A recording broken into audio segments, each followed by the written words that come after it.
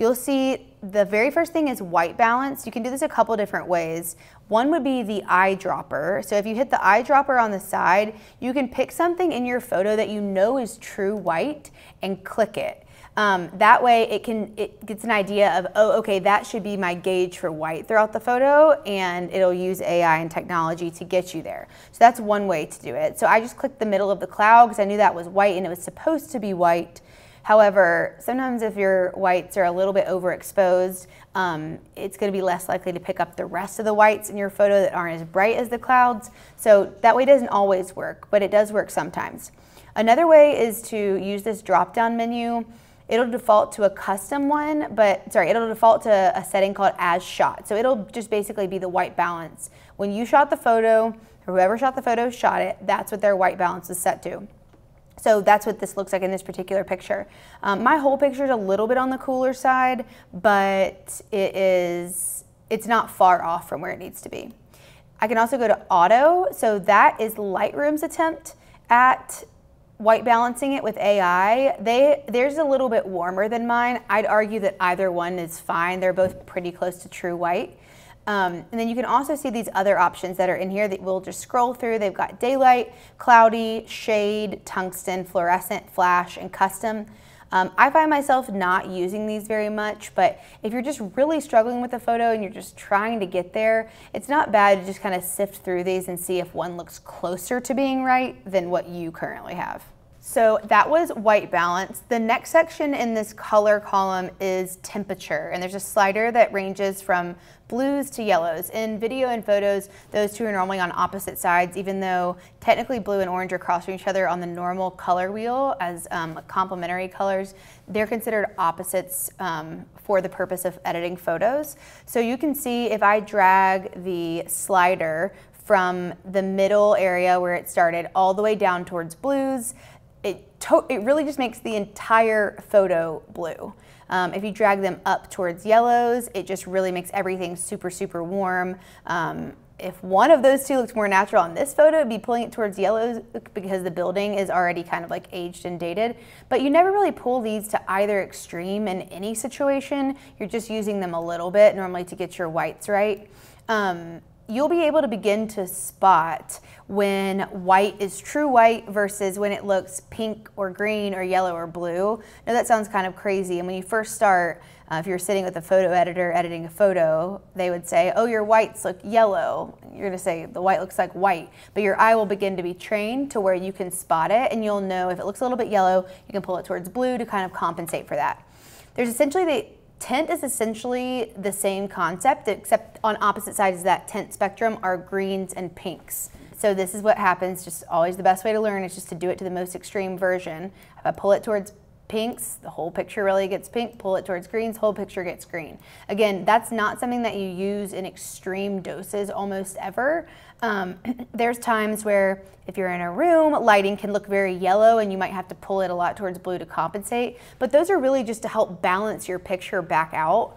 Um, they're not really intended to use in super extreme amounts on any photo just so you can get an example of kind of what that looks like, I'm gonna pick one of these photos, which is a portrait of my friend Savannah, and I'm gonna actually edit that one because I did notice there were some greens in that particular photo, um, kind of like the blonde in her hair was skewing green, the background of the wall behind her was skewing a little bit green. You may look at it and say it looks like a white wall and a blonde person, and it does, but when I start to pull towards pinks, you'll notice how much green was really in that picture that maybe your eye didn't notice before. So here's a picture I'm going to use. You can see I'm looking at her blonde. Blondes are really is a really reflective hair color, and most blondes like to look like actually blonde. So you blonde's not going to want to look more her hair to look more yellow or green than it actually is, which is fair. So in this particular situation, I can eyeball this and say this looks a little bit green, maybe some yellows, and that her hair looks a little bit green. When I start pulling my tint towards pink, you'll begin to realize how much green was there that you didn't even really notice. So let's turn that off and look at it again.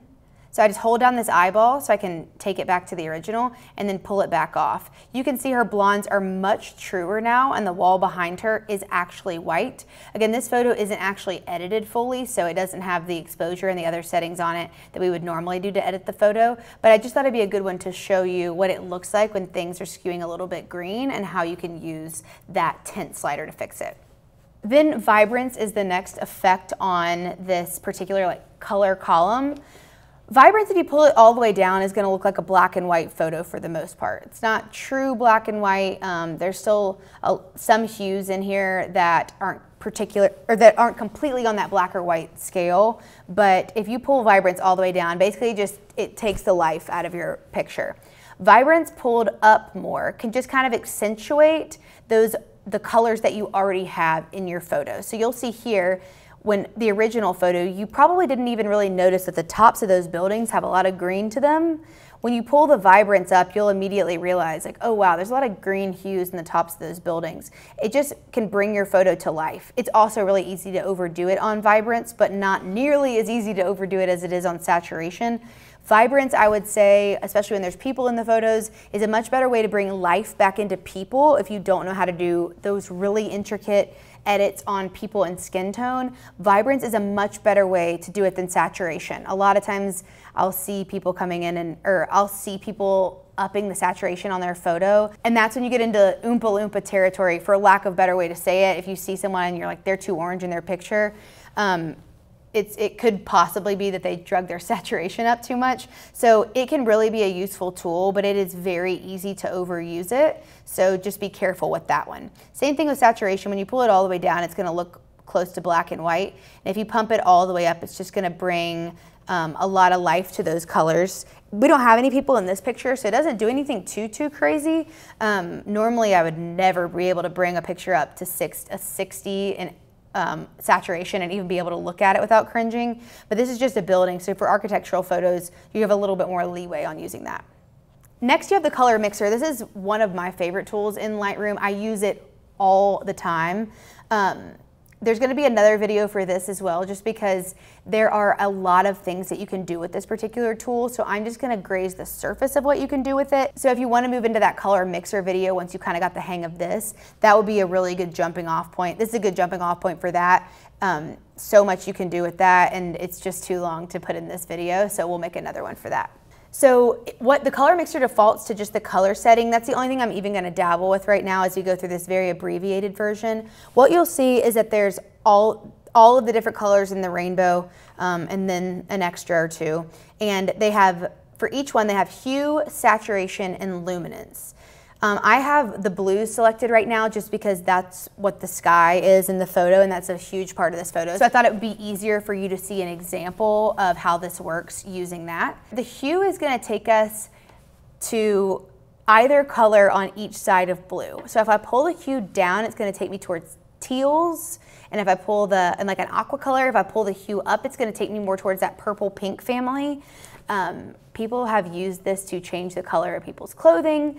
Um, sometimes it works like that, sometimes it doesn't. But for this particular case, if I pulled it towards all the way to the left, you'll see that those blues are going to aqua. This would be a good way to get a photo to look kind of vintagey and retro is those blues go toward, more towards aquas rather than that true blue. But you can see if I pull it all the way up, they go towards pink and purple because those are the colors on either side of blue in the color wheel. For saturation, if I take saturation all the way down, it basically pulls the blues out of the photo.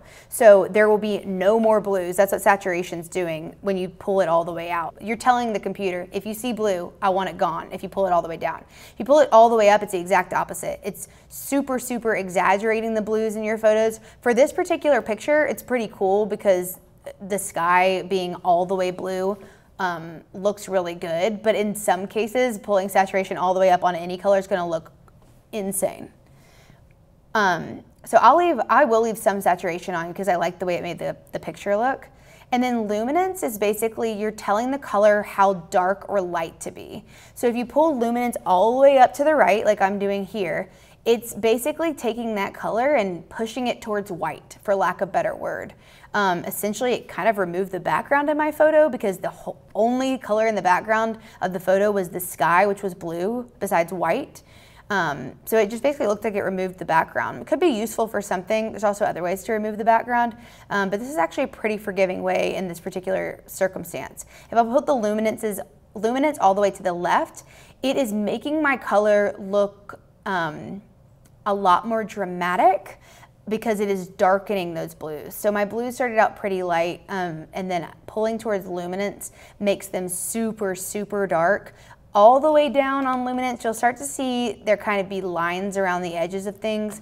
I really don't think this is a slider that you would particularly pull all the way one way or the other, um, but it's really good for making colors look a little bit more dramatic um, if that's what you're going for.